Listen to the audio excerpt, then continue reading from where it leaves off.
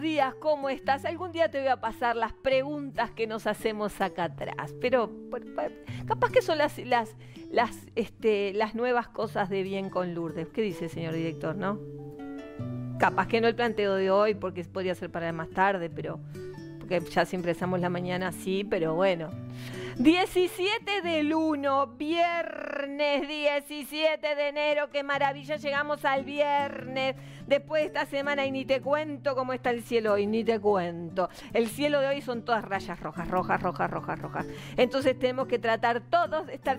Esta semana Decime, qué horrible, Lourdes, continuamente diciendo que me quede tranquilo y sí, te digo, quédate tranquilo, vamos a estar oh, tranqui, lo más tranquilo que todos podemos. Todo lo que sucede en el cielo está en esta guía astrológica del 2020. Todo, las runas para cada signo tenés, tenés artículos que son muy interesantes para ir entendiendo más la astrología hay artículos que te van a servir de un, año al otro. Es como ir aprendiendo un poquito de algo que es la astrología, que es este idioma que estamos hablando nosotros hoy. La guía astrológica está en todas las librerías, pero también si querés que te vaya autografiada porque la querés regalar a alguien o que la querés para vos mismo, nos escribís al 094-027-992 y nosotros te la hacemos llegar.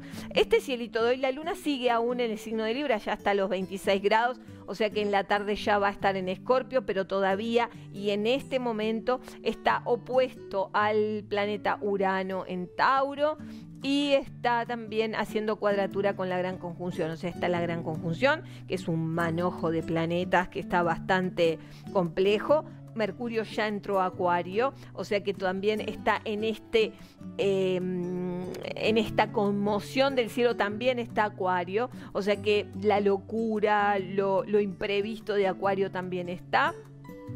Urano desde Tauro sigue trayendo eh, bastantes cosas nuevas, bastante, bastante energía revolucionaria la luna en Libra, que ya dentro de un ratito pasa al signo de, Escorpio, y la gran, la gran conjunción en Capricornio. Entonces están involucrados, te diría yo, que casi los 12 signos el día de hoy.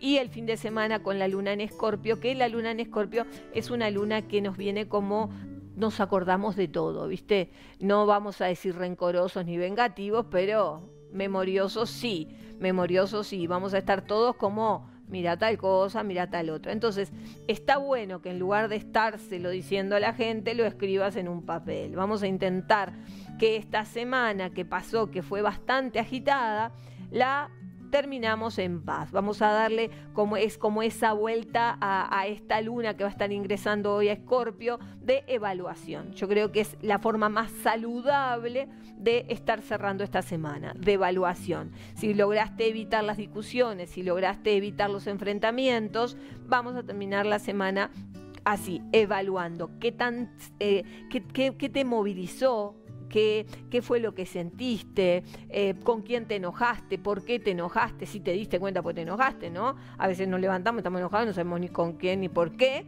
pero bueno, a ver, ¿qué, qué fue que te generó esta semana? Empezamos entonces, ah, no, no, no empezamos con nada. Te dije 17, que es la conexión con la espiritualidad, el 8, que tiene que ver con el dinamismo, los movimientos, el 8 es un número muy femenino. Terminamos en un 13, que es reciclaje y cambio, y el 4, que es el número que al final termina siendo todo, todo la suma de todos, termina siendo un 4. El 4 termina en gran estabilidad. Si logramos ver la, numeral, la numerología del día con la energía planetaria del día, nos damos cuenta que hoy es un día de transición, de cambio, de transformación. A medida que la luna va a seguir avanzando y va camino a encontrarse en la gran conjunción, vamos a estar todos un poco más este, conectados con lo que sentimos. Al también retirarse Mercurio, Mercurio ya entró a Mercurio ya entró a Acuario y el Sol ya va en este mismo camino, se descomprime un poco esa tensión que había. Después tenemos que esperar los, los movimientos, ¿no? Después vamos a esperar que el Sol cuando hace cuadratura, cuando hace trígono, cuando hace oposición, cuando hace cuadratura de nuevo, vamos a tener momentos. Por eso es tan importante que vos estés día a día sabiendo lo que pasa en el cielo. Por eso yo te recomiendo, vuelvo a insistir, la guía astrológica, porque da puntualmente para vos y no solo luna, sol como estamos nosotros viendo en la mañana. Tenés todos los movimientos. Bueno, ahora sí, vamos con Aries. Hoy la luna sigue todavía enfrente, por lo tanto cuídate de lo que decís y lo que haces. Y tu carta es el rey de oros que está hablando de em, una situación económica favorable, algo que se concreta para vos, que podía tenerte un poco ansioso, que te podía tener un poquito preocupado, tranqui, porque se soluciona. El rey de oros, por suerte, trae energías que materializa energías. Entonces, aquello que te podía preocupar, se soluciona. Vamos con Tauro, es el momento de trabajar, Tauro te tocó un año intenso, te tocó un año importante y hoy te toca trabajar. O sea que tómale el día con calma y tu carta es la suma sacerdotisa que está hablando de un secreto que tengo que proteger.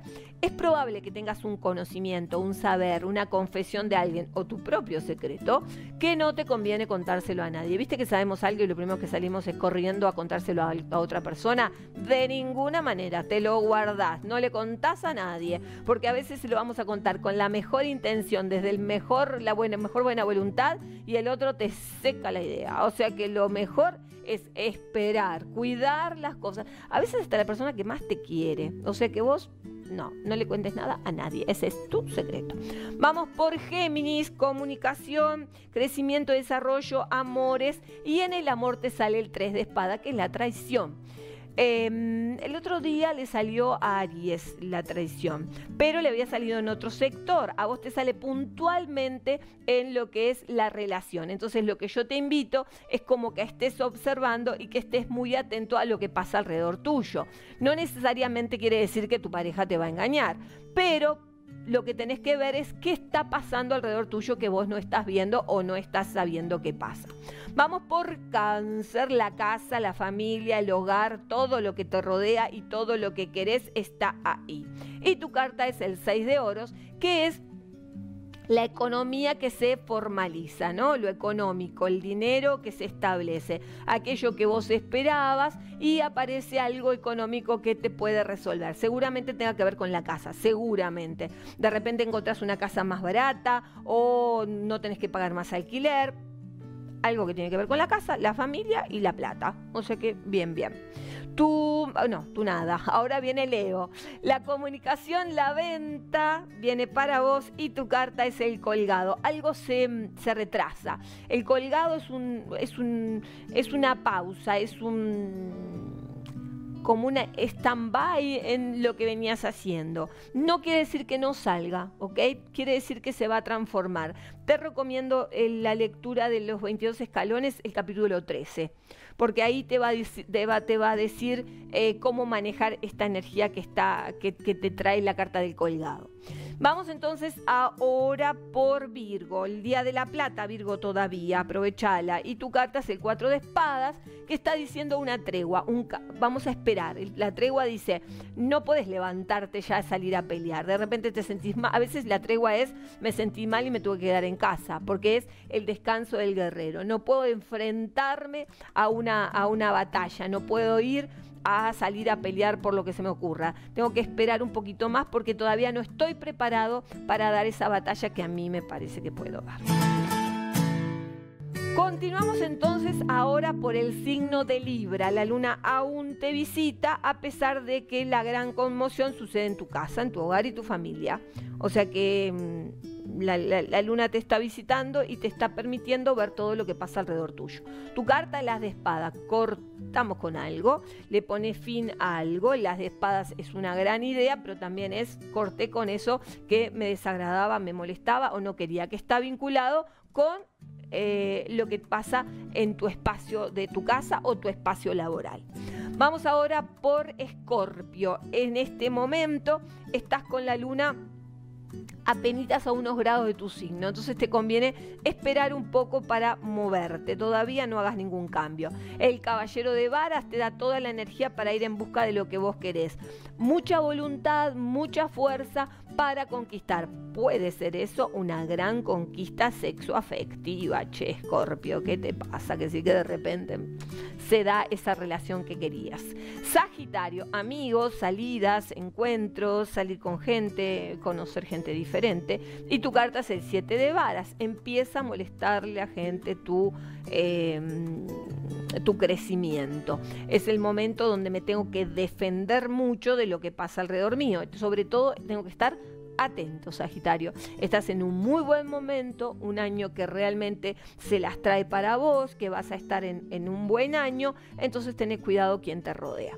Vamos por Capricornio, el logro, el éxito, cosas maravillosas para vos. La luna sigue en camino a tu encuentro, entonces disfruta de lo que pasa. Y tu carta es la reina de varas. La reina de varas está diciendo que tu experiencia es tu mayor capital. Está diciendo que aquellas cosas que sabes hacer como de taquito son de lo que tenés que afirmarte. Entonces está en contacto con las cosas que sabes hacer y está en contacto con aquellas cosas que en definitiva te vienen a, a, solucionar, ¿no? es, un, es un momento de soluciones.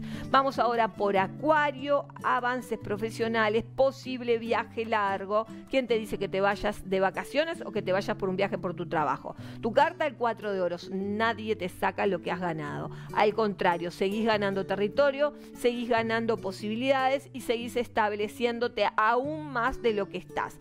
Vamos por Pisces, transformación, conmoción laboral, todo lo que se transforma te lleva por buen camino y tu carta que es el 7 de oros es el momento para esperar. Hay algo, Piscis, que te dice hay que esperar un poquito más. Lo que hiciste está bien hecho, pero todavía no te está dando los resultados suficientes o por lo menos los que vos estás esperando.